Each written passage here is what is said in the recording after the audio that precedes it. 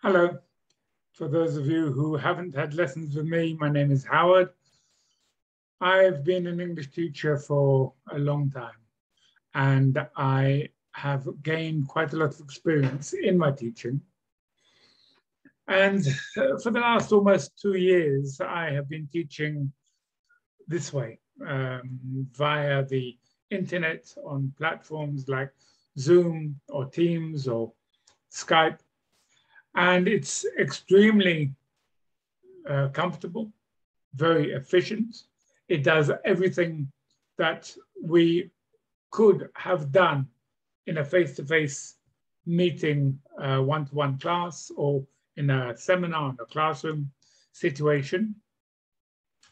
But what I want to do now is just talk to you about techniques of taking the exam because I teach many people who are, let's say, um, people who haven't done exams for a long time, who haven't studied English for a long time, and they are thrown back into a situation, you are thrown back into a situation where you need to take an English language proficiency examination, such as IELTS, TOEFL, PTE, etc., TOEIC even. And there are techniques which you have to get used to using again. It's not enough just to say, okay, my English is good enough because I speak with people all the time. Because in an examination, they, they don't just check your communicative skills, your communication skills, your ability to talk. They don't just check that and understand. Let's say 70, 80% you understand when you're talking with somebody, when you're watching a series or watching a movie and you're listening to the English, but you're reading the subtitles in your own language. Um, it's not enough then to say, oh, my English is good enough for an English language, language examination without doing preparation in advance. And the preparation isn't only practice, of course, it's practice, a lot of practice, as much as you can, fitting into your lifestyle, fitting into your daily activity schedule. But it's also a mentality, a way of thinking, getting your head around the fact that you're being tested again. So I'm going to share now a document. Um, it's a document that uh, talks about um, preparation. And um, when we look at this document, it says be ready for the IELTS. It talks about the IELTS exam, but these techniques are good for all, all examinations, any examination, even not only English examinations, but we'll talk about it as we go on. So obviously practice, practice, practice. There's no, there's no um, way of saying that uh, practice is not the key. It is the key. The more you practice, the better you'll get. Fact. The more exercises you do, the better you'll understand the exercises, the more you'll be using your English, the wider you'll be able to express yourself, you'll be remembering things, etc., etc. But again, practice, practice, practice is something that has got to fit into your daily life schedule. And for some people, it's okay because you make a decision that you are going to study really hard, do nothing else, and just do the exam, and then um, take, uh, uh, and spend all your time studying for the exam. But there are majority of people who have to continue working and they have their family, and many people have little children to look after, etc., etc. So let's, let's go back to the document. So practice, practice, practice is a golden rule. Yes. Um, practice uh, is something that you need to do every opportunity. And practice can be anything. It can be listening to the news in English. It can be listening to, and I'll show you in a minute, different places. You can use my website or you can just use Google and find places where you can listen to English, read English, read and listen download so many different things, all good, and of course, practice grammar. So let's go through this uh, uh, the way I've uh, made the letters of practice into a um, some golden rules. P, prepare yourself in every way pos possible. Use your time wisely. Now, when I say use your time wisely, wisely, I mean don't practice after a day of work, after looking after the children, when you're tired, exhausted, you're fed up, um, and then you've got to do English practice, the results won't be good. That's as far as practicing specifically for certain parts of any examination, whether it be the TOEFL, the PT, or the IELTS or TOEIC. Um, but if you're just listening, well, yes, you can listen to something five minutes after listening, starting to listen to uh, a Voice of America video or, a, or uh, um, some news broadcast. You'll just drop off, you just fall asleep. Maybe it's not such a bad thing. It's a good way to relax. Will it help your English? Maybe. Will it focus yourself on the exam? No. I don't think you can count that as practice, like beginning to listen and falling asleep. I don't think that can be counted as practice. Practice has really got to be at a time when you're awake, you're, you're aware of what's going on, you know what you're doing, you've got the time, you're not going to be disturbed. All these factors will help you um, practice, and you can do it with different parts of whichever exam you choose to do. The listening, listen till the end. Things you don't, but practice also is not a test. So in a practice, if you get words you don't understand, stop the practice for a minute. Check out the words, check the vocabulary, alternative words. I'll show you on my website in just a minute um, some uh, very useful tools which you can use while you're practicing. Tests, doing tests is something different. So use your time wisely uh, whenever you can, coffee break, lunch break, in the morning early before the family actually stir, wake up, before you go to work, um, in the car. Although in the car, you've got to be a little bit careful because your attention can be taken from um, whatever you're doing, and it's, it's too much of a distraction while you're driving, I think. Listening in the car, fine actually practicing, I wouldn't go uh, uh, ahead with that. Have a study plan, stick to it no matter what. Easily said, um, but try. Try with the study plan. If you vary from that, if you if you don't actually stick to it 100% and you're flexible, of course, uh, you, you go according to however you can, but but try to stick to a plan.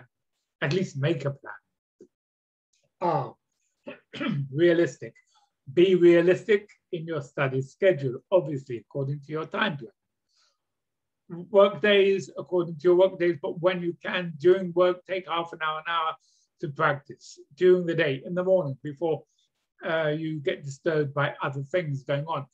Weekends, um, you know, uh, it can be it can be instead of doing something, send the family off to the swimming pool or to the beach, and then you spend a couple of hours practicing. Um, so be realistic about the schedule. Do whatever you can, but always do something. Anything is good. Anything in English you listen to is good. Um, it really is anything. Um, don't beat yourself up if you don't manage to exercise as much as you intended. As I said before, you can set a plan but if you don't stick to it, it's not the end of the world. Uh, do what you can, not what you can't. Really important. Um, because the results won't be good and you will feel frustrated about it. A, arrange your daily schedule to include English sometimes. Um, that can't always be done, uh, but if you do have friends, family, colleagues who you can speak to them in English, take that um, opportunity to do that. Say to them, I'd rather speak in English. Is that okay? I want to practice my English.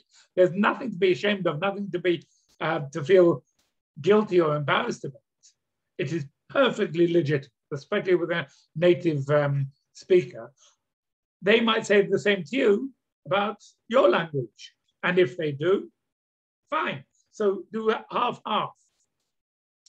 Um, right. Uh, A, arrange. Arrange your daily schedule to include, I will say that, doing every day. Adapt and adjust your time. Listen to English in your car, the bus, train, headphones, uh, tablets, whatever, while doing physical exercises um, on, a, on a walk, on a runner, um, while jogging, training. Cooking is great. Uh, I'll talk about that in just a second. Um, and, and put your GPS, your Google Maps or, or Waze into English. Listen to the English, listen to the words they use. Why not? It's an opportunity for more English um, to be focused on. And you can check up words you don't understand later. C, check, check. In every situation, check how much you allocate to English every day and ask yourself if you can do more. Um, check your writing after you've transferred your answers the listening and reading parts, especially um, in the two essays. Checking, checking is really important. Checking as much as you can, but the problem is that you have a very limited amount of time. And so time is is everything in the exam. You, and that's why practice comes in. You're practicing not only to do the subject, but you're practicing to fit everything in within 45 minutes, 20 minutes, 25 minutes, half an hour, excuse me, about everything. Limit your time. Don't just give yourself free reign. Um, especially in the writing, but also in the speaking. When you uh, record yourself, you can use ways to record yourself, send it to yourself, listen to it. If you don't like it, do it again. You, you'll never like the sound of your own voice. But that's not the point. It's how you speak. And in many ways, it's more how you speak rather than what you're speaking about. Um, okay, we'll talk more about that later. Uh, T, try and do more. Test yourself all the time and train at every opportunity. Yes, try, keep trying, um, trying to get better. Try to do a bit more. Uh, try to be more relaxed when you're speaking. Don't, don't try too hard. In many cases, trying too hard can also cause mistakes, lead to mistakes. I believe in yourself. I can do this. Be positive. Don't be negative. Don't let things knock you. Um, these exams, IELTS, but these exams, TOEFL, PTE, any of the exams, they are just, just a key to open the door to whatever you're trying to do, whether it's to immigrate, to do a fellowship abroad, to do another program, to study, uh, to work, to whatever you want to do. These exams are just the key to open the door. And remember that. Um, don't let them bother you too much because it's another exam and you're not good at, exams. Try to focus on what you need, why you're doing this, and use that motivation, use that um, inspiration to drive you to do the best you can in the exam. So do the best you can and be honest with yourself. Uh, and you can do it if you do it that way. Unfortunately, it's easy to give up. Um, okay, remember that. C, change your routine to include English. Uh, clear sp space in your busy schedule to include English in your daily routine. Change things around English. Make change. Make make English. It's fine. It's fine uh, to speak English um, rather than your native language. It's fine uh, when you have a target. Um, it's not being presumptuous, it's not boasting, it's practice. So change the way you look at things you speak um, and get other people to react, to speak to you too. Soon you'll see that it becomes a habit. And E, English for the IELTS test can be learned by everybody. Um, English for any test can be learned by anybody. Don't forget these exams. There's no real pass or fail per se. It's not pass or fail. It's getting the grade you need. And then so so when you do the exam, you don't get the grade you need, and you do it again, and you push your grade up a bit. Um, you you you work on it. You can you can improve. You can pass the exam on half a point less because you weren't fluent enough. You didn't use um, a wide enough uh, variety of vocabulary. Your your alternative words didn't come into play when they should have done grammar, grammar, grammar. When you use, when you say a sentence and you could have said it in another way, um, repeat it, say it again, use, use um, not only simple tenses, but perfect tenses and passive and, and conditional clauses and adverbs and adjectives in the right place. The A and the the, the articles, use the grammar. You'll see that the more you use it, the more it becomes more natural for you. Um, every opportunity is a good opportunity to do more practice. No excuses, that just leads to frustration. Well, that's true. Um, you know, you can always say, uh, I didn't have enough time this week because X, Y, Z. That'll always be right. That will always be right. Um, so, yeah, um, try not to find excuses. Now, I know this is going a long time. I just want to spend a few more minutes on, um, on my website. So what I'm going to do, I'm going to put my website um, on the shared screen. Uh, just a second. Now, the reason I'm doing this is because I want to show you a couple of things on the website. Uh, I don't remember where this picture was taken.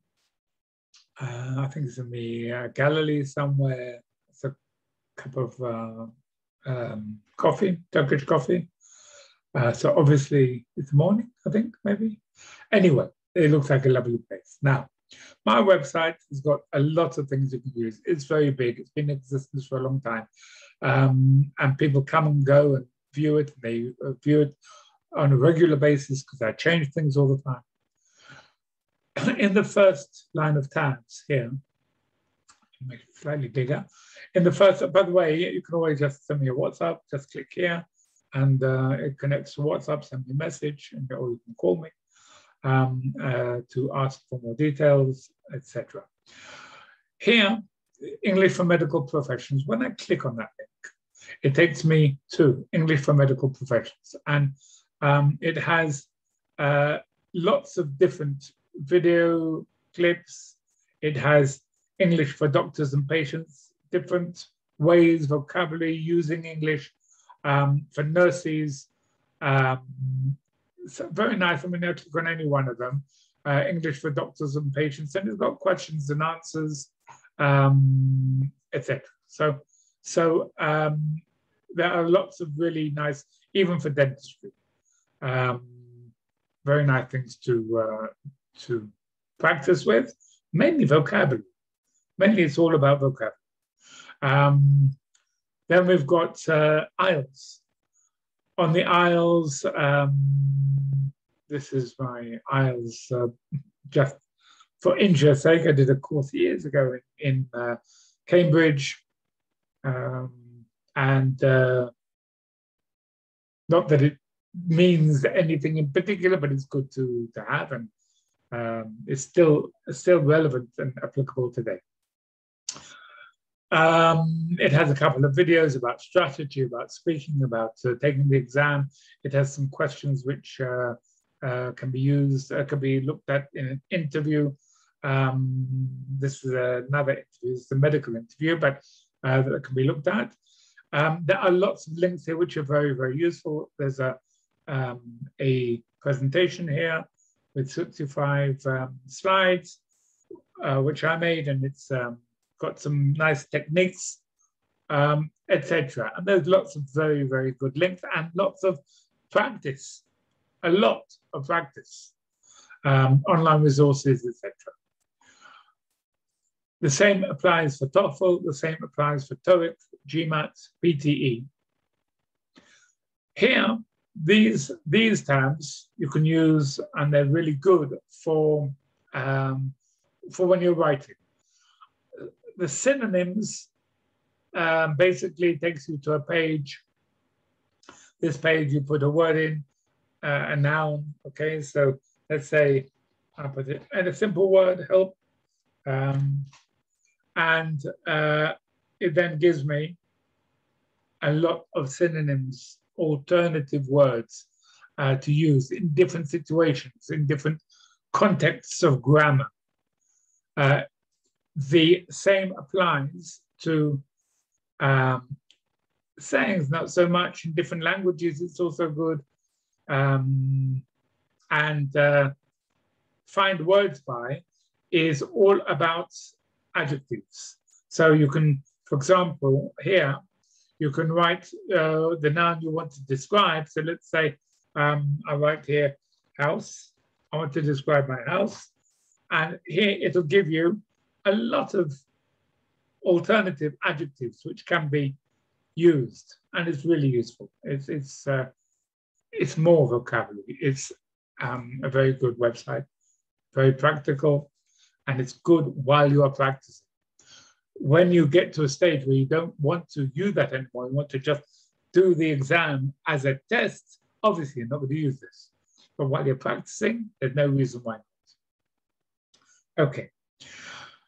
All these tabs here have different purposes, different usages. They, they, uh, you can use them. I mean, I've got tabs about almost every type of usage of English that you can imagine. Uh, games, um, there are some personal um, things on here, um, stories, lots and lots of stories, short stories, um, news, Voice of America. Here we've got, uh, for example, um, the Voice of America is, is it? Just a minute. Uh, just a second. Okay, it's here somewhere. Um, and using the Voice of America, listen to the videos, getting the language. Voice of America is a good uh, website to use. Um, why can't I see it? I don't know. Oh, there we go. Voice of America. That's because I made it larger. TED, this one. TED is always good, but if you use it in the right way. There's even a, a for English for wine and whiskey. Um, because I like to drink whiskey, but wine, but um, grammar, plenty of grammar websites. The best two grammar web websites I'll show you here um, uh, are this one. Um, this one is uh, with Hebrew explanations. Um, there's this one, number eight, perfect English grammar, excellent website. And another one is 20, verb tense future, but there are many. Those two I would especially recommend, but there are many others. Um, I have here about um, English for um, many different things. I mean, uh, uh, comparing different exams, if you want to know uh, about different exams. I've got for the hotel industry, for hospitality, um, for tour guides, English, using English for that. Um, and there's, as I said before, games, uh, quiz about uh, Israel. Um, sometimes I write uh, my, uh, I have a blog on the Times of Israel, and I uh, haven't been writing recently, but I do sometimes write um, a short blog um, and different things. Okay, um, as I said, uh, things about art, and of course, quote from the BBC and, and different websites, which I think are good.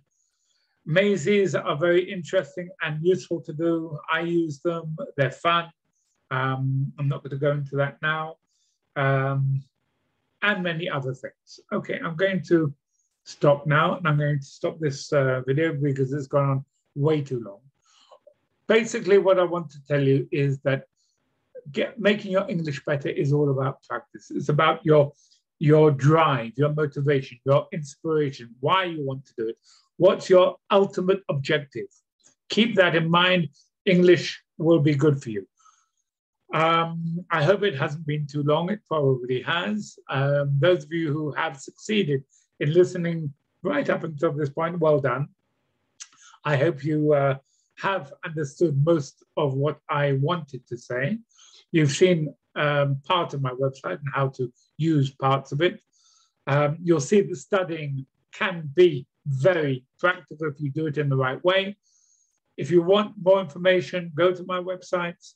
Um, it's, uh, I'll say it for you, www.anglit.org. Um, go to my website, you'll see how to contact me. You can write to me, you can send me a WhatsApp, you can contact me through Skype. There's, there's no end. LinkedIn, uh, I do LinkedIn profiles. I improve, help people, help them improve their LinkedIn profile. I work with personal statements for universities. I work with letters of application. Um, and it is the English that makes a difference. It does. Anyway, that's what I wanted to share with you today. And I hope it has been uh, interesting. And uh, if you would like to hear more, uh, I'll be always available to for a chat. You can set something up and maybe have some lessons. Anyway, good luck with anything you want to do and trust yourselves. When you have an aim, something you really believe, you really want to do, you can do it. Just believe in yourselves. And don't try to do things you can't. Go for the positive side. Do things you can do now. Don't leave it till tomorrow. Take care, everybody. Uh, and uh, I hope to see and hear you soon. Bye.